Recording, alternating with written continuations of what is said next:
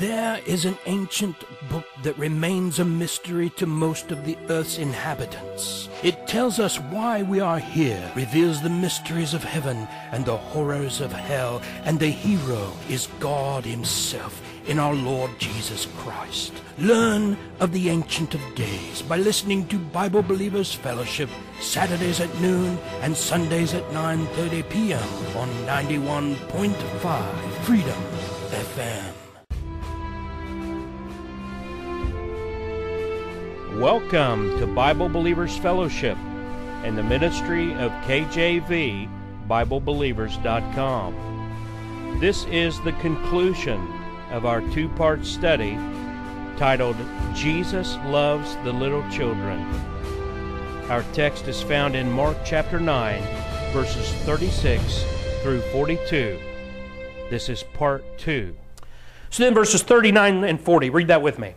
But Jesus said, Forbid him not, for there is no man which shall do a miracle in my name that can lightly speak evil of me.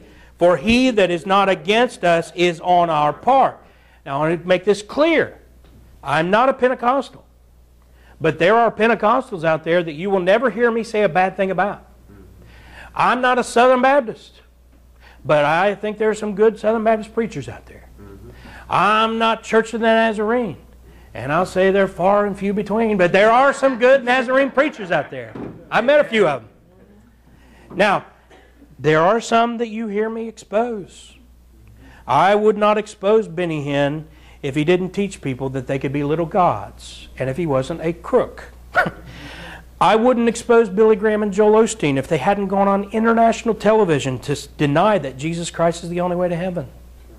I wouldn't preach about the Pope. Glennis asked me about that a minute ago. Um, I taught the Pope is the Antichrist, two part message on the internet. I wouldn't do that if he didn't preach a false gospel of sacramental works and call himself the vicar of Christ, which means Antichrist, and allow people to call him a term that is only used once in the Bible, in John 17, I believe it is, about God the Father, Holy Father. Only time ever used in Scripture. Used once, and it was about the Holy Father in heaven, and he allows people to call him that. I wouldn't preach against them if they didn't do that. But see, they're against Jesus when they do these things, so that makes them against me, which is why we teach on it. Now, look at this very interesting passage that liberals love to abuse, by the way. Read verse 41 with me. For whosoever shall give you a cup of water to drink in my name, because ye belong to Christ, verily I say unto you, he shall not lose his reward. Now, this is not talking about salvation. And that's how the liberals, apostates, non Bible believers will preach it in their pulpits, as though that's talking about being saved because you give people water to drink. Do you understand that God rewards you whether you're saved or not based on your works? You remember when Cornelius got saved, God was already blessing him even though he wasn't saved. But he was called a righteous Gentile. And the Jews, all along, they still refer to people like, uh, we just had the anniversary, I think, uh, like 25 years of Schindler, Schindler's List. He was called a righteous Gentile because God blessed him, because he blessed the Jews and blessed Israel. Now, if Schindler didn't turn to Jesus Christ, he still didn't go to heaven. But he was blessed in this life. So there are really two kinds of reward. Do you want an eternal reward? You'd better believe the gospel. But you can also receive reward whether you're saved or not. They, the Bible says, I'll bless him that bless thee and curse him that curseth thee. It doesn't say they have to be saved to get either one. But the one is temporal. But if you believe on the gospel and the Jewish Messiah, that's eternal. Amen. Look at this. It says in Psalm 58 11. So that a man shall say, Verily there is a reward for the righteous. Verily he is a God that judgeth in the earth. Now you can be righteous in a practical sense even while you're not saved. And you'll be rewarded for that in this life. Still doesn't save you eternally. Um, it's a simple principle. You do right, and God will reward you. You say, well, my life's awful terrible, and I try to do the best I can. Well, imagine what it would be like if you were not doing the best you can. You see? Your life may not be great, but imagine how much worse it would be if you were just wicked. And it still doesn't save you, as we said. Now, we're going to get back. Jesus going to, he's answering John, but he's going to get right back to the subject. And what I like most about our Lord and Savior is he doesn't mince words. Right. he is not a mealy mouthed, typical politician in the pulpit. He doesn't, you know, humdrum him you know, what do they say, uh, uh, uh, soft and gentle and always positive. I want to tell you, if that's your Jesus, you got the wrong guy. Look at what Jesus has to say in this next verse, verse 42. Read it with me. And whosoever shall offend one of these little ones that believe in me, it is better for him that a millstone were hanged about his neck and he were cast into the sea. Now, have you ever seen that happen? In the Teamsters, they used to throw uh, concrete. Uh-huh. I was say that's probably what happened to Hoffa. now, I just want to say this: when it comes to children, he says that believe in me. You know, I've never met a child who didn't believe in Jesus except for those who were then talked out of it by parents or teachers. And it's like you, you, you're born with this belief in Jesus. But then there comes that moment where you become accountable, understanding sin, understanding right and wrong, and there you have to make a, an informed belief in the gospel to be saved. There's that transition, and it's different for every kid. So when I think Jesus says one of these children that believe in me, I don't think that it just means if it's a kid who, who has you know, made a public profession. I think children in general are believers in God. I remember as a child, I would have told you I believed in Jesus. But then a few years after that, when I hit the teen years, I was an avowed agnostic. And would preach against Christianity if you asked me what I thought. And then at the age of 19, an informed decision, and I became a Christian in the true sense of the word.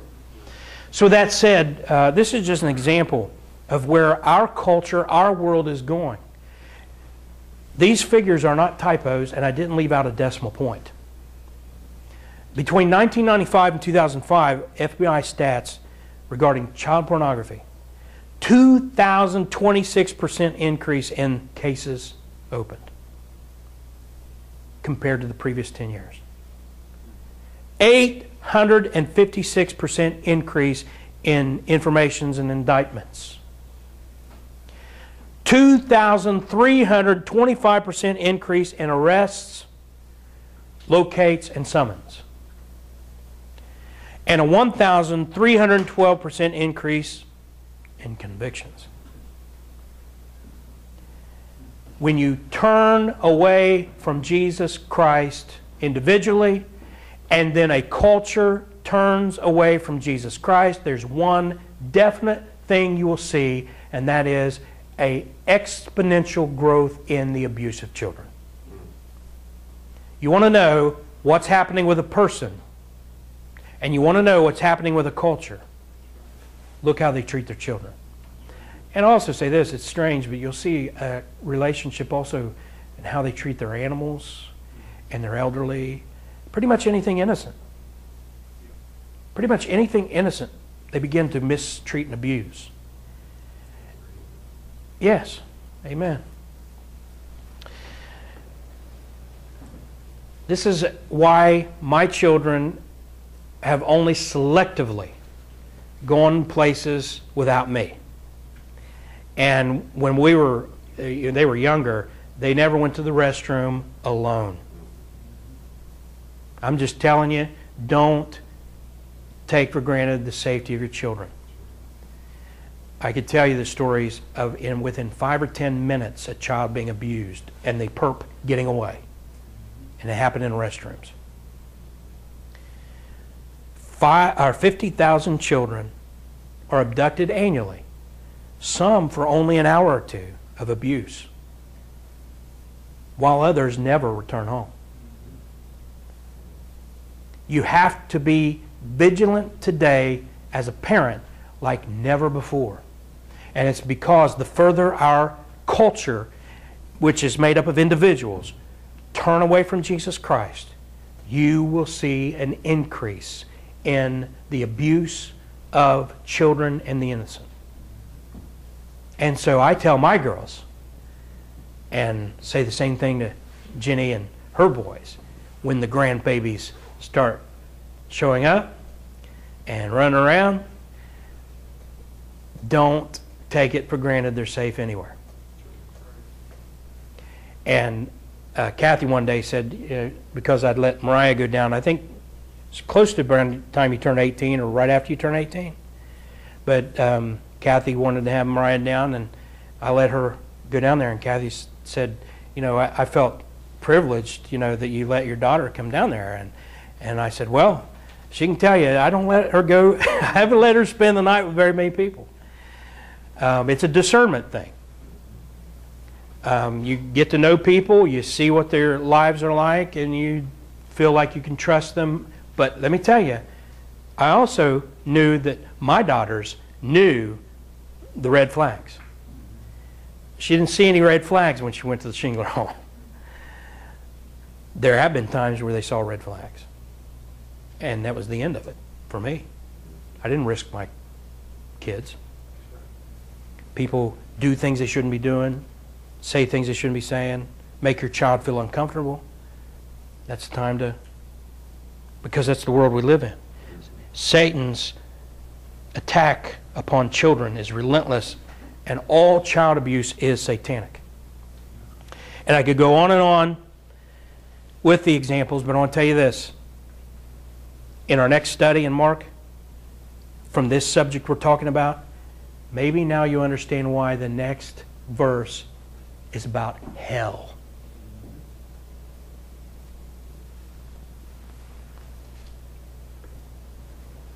Every here's here's what I want to remind you in closing. Every baby ever aborted, every stillborn child, every infant who died of SIDS, sudden infant death syndrome. Every child killed by a drunk driver. Every toddler who died from disease. Every little boy or girl that was abducted or killed or and killed. All the little children who died in war and famine and pestilence and earthquake, they are all in heaven with Jesus. And anybody tells you otherwise, just walk away from it. The Bible is clear. And I'm not just saying that because it feels good. You know me. I won't teach it if the Bible doesn't teach it. I mean, we all hope this is true, but here we have 2 Samuel 12 23, when David's baby was uh, born and then died, even conceived in adultery. He killed a man, Uriah, to have his wife, Bathsheba, and they conceived a child in the act of adultery. And even that baby, when it died, David, it says, but now he is dead, wherefore should I fast? Can I bring him back again? I shall go to him, but he shall not return to me. David had no doubt he was going to see that baby again. Why? Because babies, when they die, they go directly to be with the Lord. Romans 5.13 tells us this, but until, uh, for until the law sin was in the world, but sin is not imputed. Look at this. Sin is not imputed where there is no law. That's why a baby or a mentally retarded or mentally handicapped, whatever word they want to use today, uh, anyone who is not capable of understanding law, sin is not imputed. Go back and read the story of Jonah. God told Jonah he should be ashamed of himself for not being happy that Nineveh repented because there were, what was it, 100,000 that didn't know the right hand from the left. The number, I, I haven't read Jonah for a couple months and it's slipped my mind, brother. But uh, God said there's this huge number of little ones. They don't know their right hand from left. Now, that could also be the mentally handicapped or whoever, but children. And he spared Nineveh, which was a wicked, wicked city. And Jonah had a terrible attitude. 120,000. I was close. Which is good in hand grenades and horseshoes. And so let's close with one last verse from Matthew 19, two verses, which is verses 13 and 14. Read that with me. Then were there brought unto him little children, that he should put his hands on them and pray. And the disciples rebuked them. But Jesus said, Suffer little children, and forbid them not to come unto me, for of such is the kingdom of heaven. Amen. Jesus loves the little children. And they're all up there with him. Amen.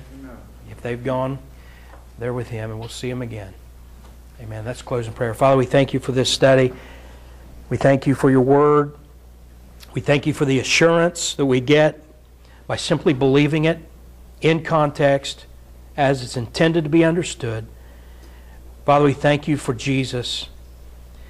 And it's a strange, probably, thing to say, but compared to all the other fake gods, he's so much more wonderful. I can't imagine those other gods really being the true God. And the true God is so much more wonderful than the man made false gods. The true God took upon himself flesh so that he could die as our substitute and pay for our sins. And then, after being buried, demonstrate his power and authority over death by being raised bodily by his own power from the grave. What a wonderful God to then turn around and offer the free gift of salvation by faith in that gospel. What a wonderful God. We love you, Lord. We give you all the praise, honor, and glory. In Jesus' name, amen. Amen. Amen. Let's sing it. Down at the cross where my Savior died, down where for cleansing from sin I cried, there to my heart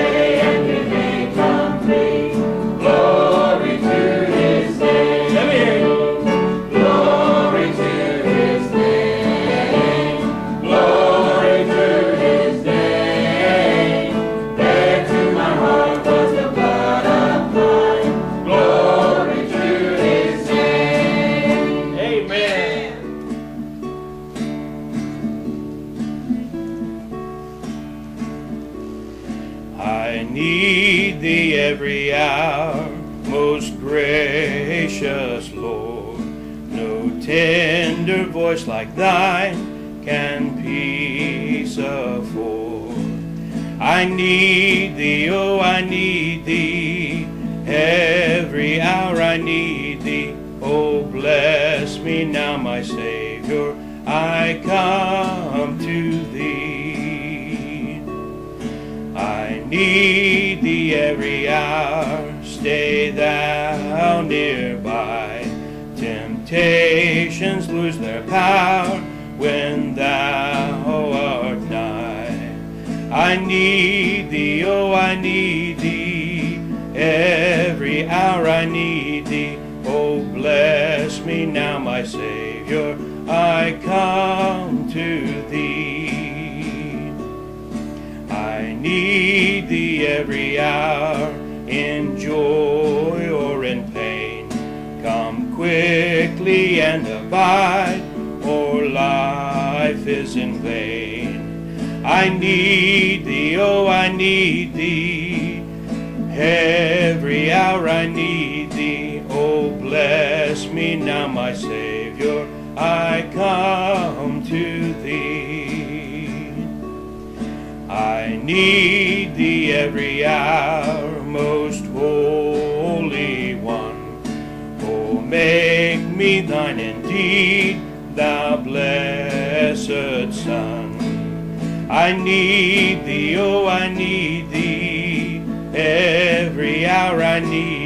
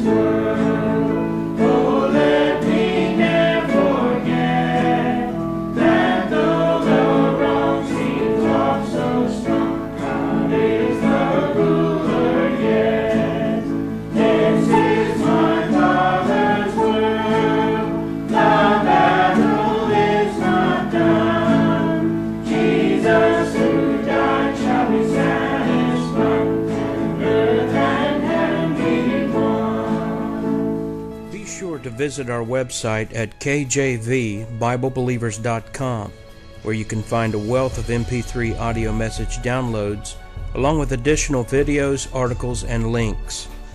This message is brought to you by Bible Believers Fellowship, P.O. Box 662, Worthington, Ohio 43085.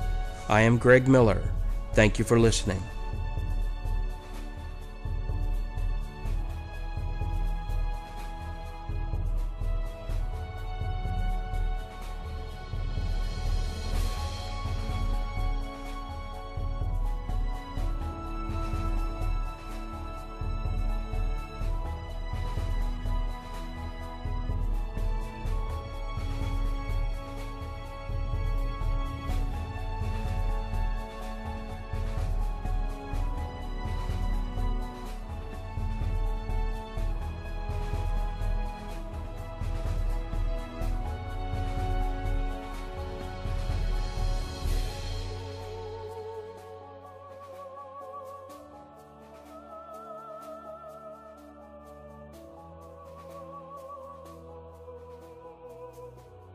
Bible Believers Fellowship presents a verse by verse study of the book of Revelation, available free to view on streaming video or download in MP3 audio by simply visiting kjvbiblebelievers.com. Download these free expository studies of the book of Revelation and share them with others by putting them on flash drives, burning CDs or DVDs, or simply post links to our messages in email or on your own Facebook or other social media site. Just visit kjvbiblebelievers.com, look under Videos in the menu to the right of the page, and click on the Book of Revelation link, where you will find hours of free Bible studies and streaming video, and eventually you will be able to access our study of the entire Book of Revelation. If you prefer MP3 audio, click on the MP3 audio page link at the very top of our webpage and use the search to pull up our Book of Revelation studies.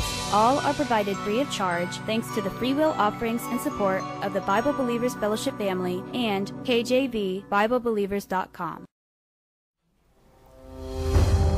That's why we read in 1 Corinthians 15. I want you to read that with me.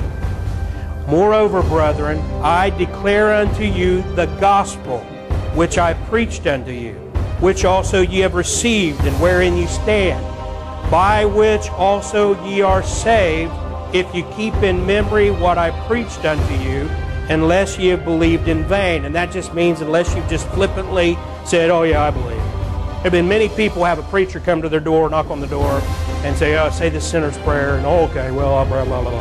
And they don't mean it. Listen, folks, you know your heart. I don't. You know your mind. I don't. And no one else does. But if you have not been serious with God and really believe the gospel, you're on your way to hell.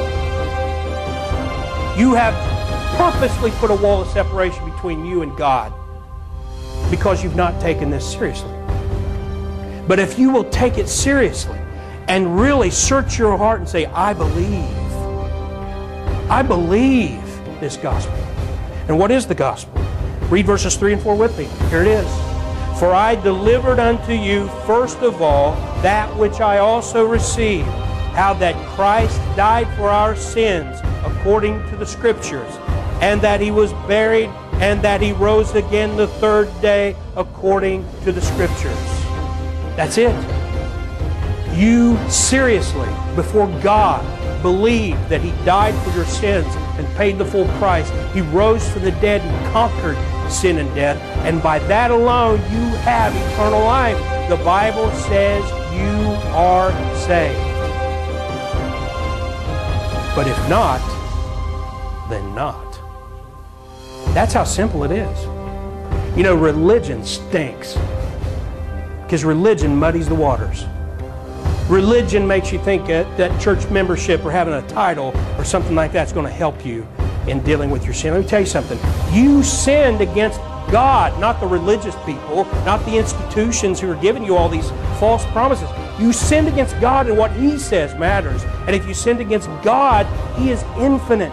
Your sin requires an infinite payment. That's why you can't work for it. You can work your entire life and do the best you can, and it's still finite. You can never do enough works to pay for the cost of sin. And Jesus dying on the cross was an infinite payment for your sin. And that's why He's your only hope.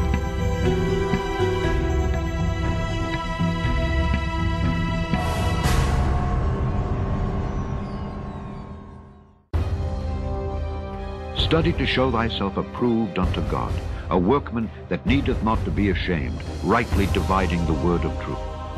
Visit the online ministry of Bible teacher and elder of Bible Believers Fellowship in Worthington, Ohio, Michael Kaler. Visit 2 Timothy 2-15.org. That's 2 Timothy 2-15.org.